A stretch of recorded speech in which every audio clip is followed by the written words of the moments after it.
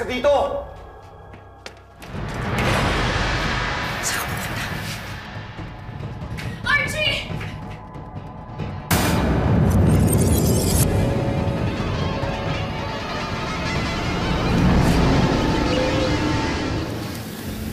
Bakit? Hindi dumating kagabi si Archie. Anong ginawa mo sa bata? Pinalis ko. Pinatay mo siya. Ba't ko naman siya papatayin? Hindi ko siya pinatay.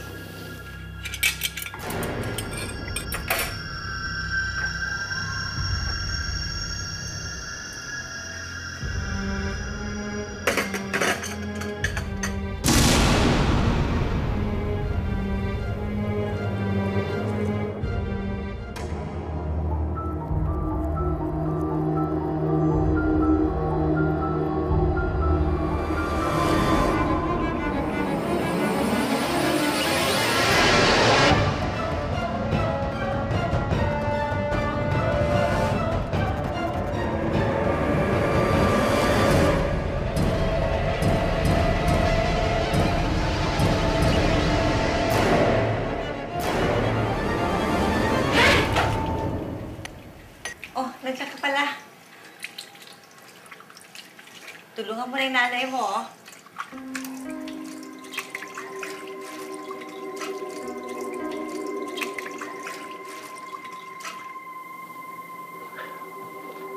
Siya nga pala, may iba tayo ng usapan.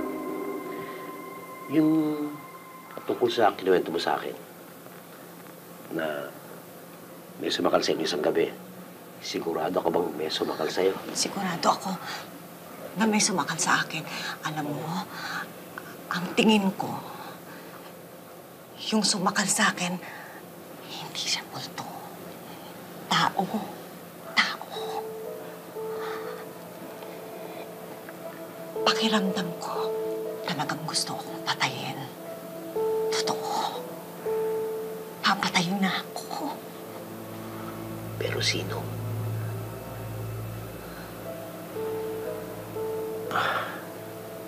Sino bang nagalit sa'yo dito?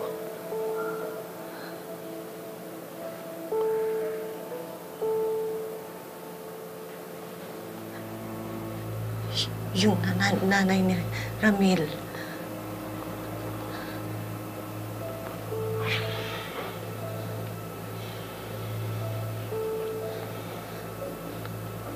Florinda, patay na siya eh. Sino pa bang gustong pumatay siya sa bahay na to? Eh, tamo ha. Ang tao lang dito, yung kapatid mo. Tapos, yung mag-inang katulong.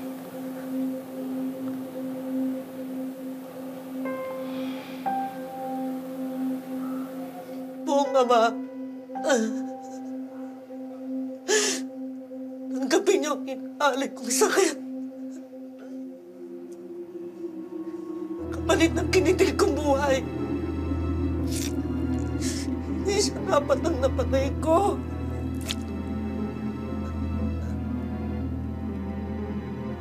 Hindi siyang inihingi ko ng pahintulot na patayin sa inyo.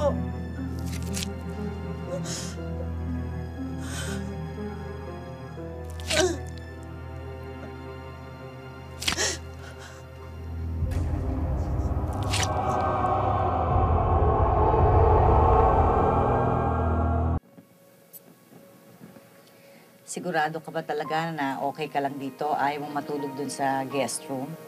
Okay na. Salamat, ha. Good night.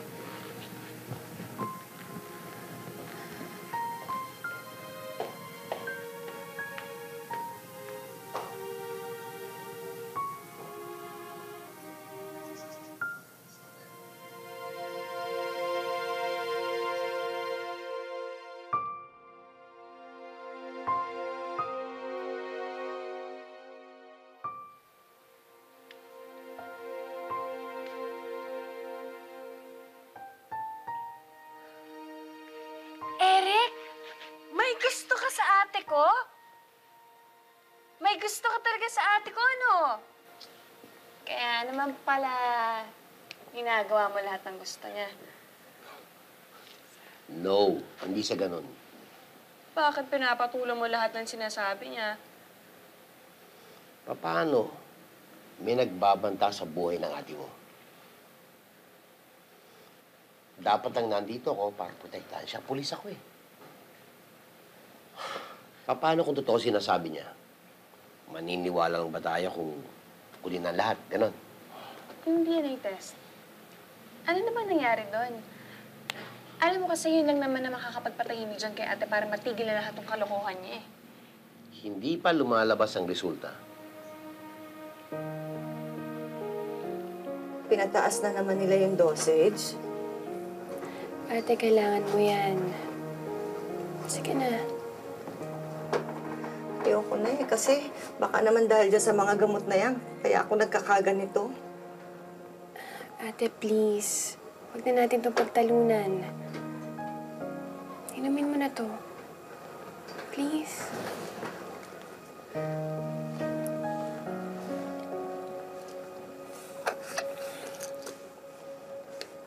Good night, ate. Rest well.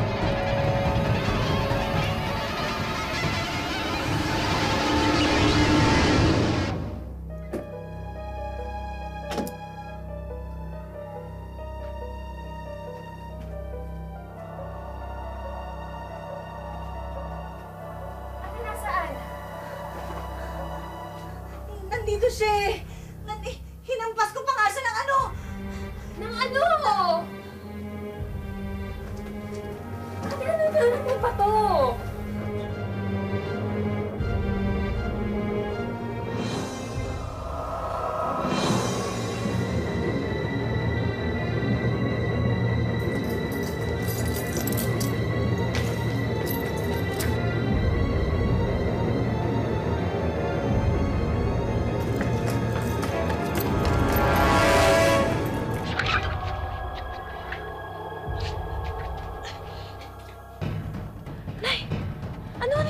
nangyari sa inyo? Nay, ano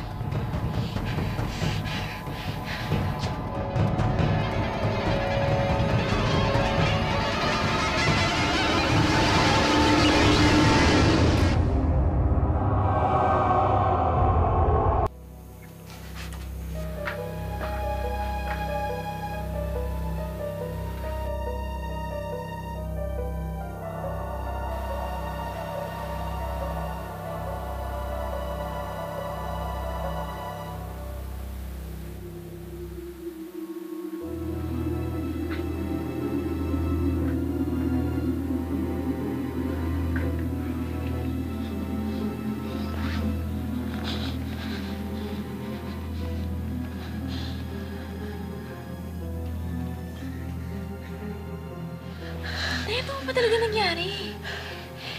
Lumalaban na yung Florindang yan. Lumalaki na talaga yung kasalanan niya sa akin. Hintayin niya lang. Gagantihan ko siya. Gagantihan ko siya.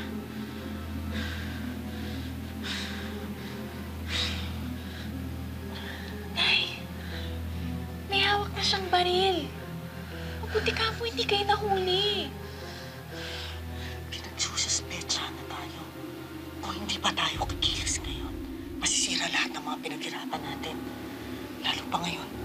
Nagbabantayan mo lang yung pulis na yun dyan sa labas.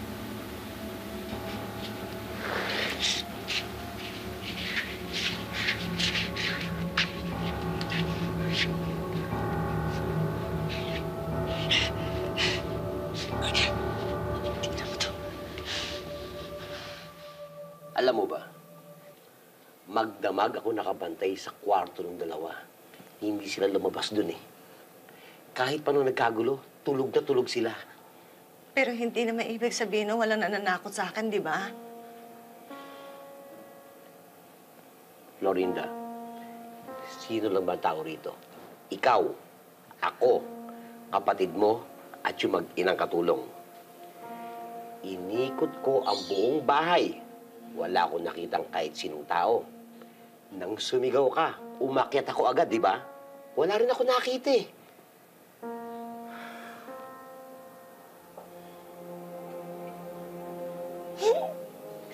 Naniniwala ka na rin sa kanila.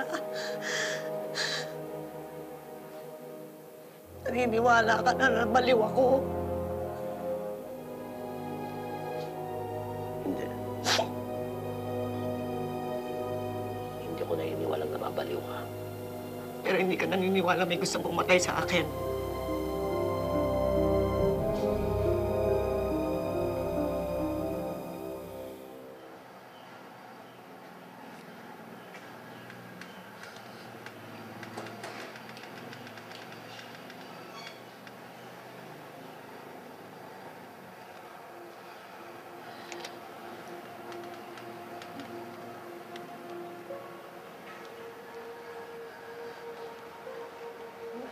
Mara?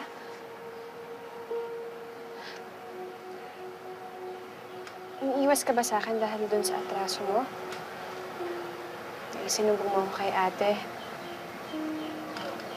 Wala na sa akin yun. Gusto ko lang malaman mo na pinapatawad na kita. Ikaw naman kasi yung kakampi ko dito eh. Mara, si Archie, iniwan niya na ako. Hindi man lang siya nagpaalam sa akin eh. Pinapoy na tuloy siya ni ate ng tuluyan.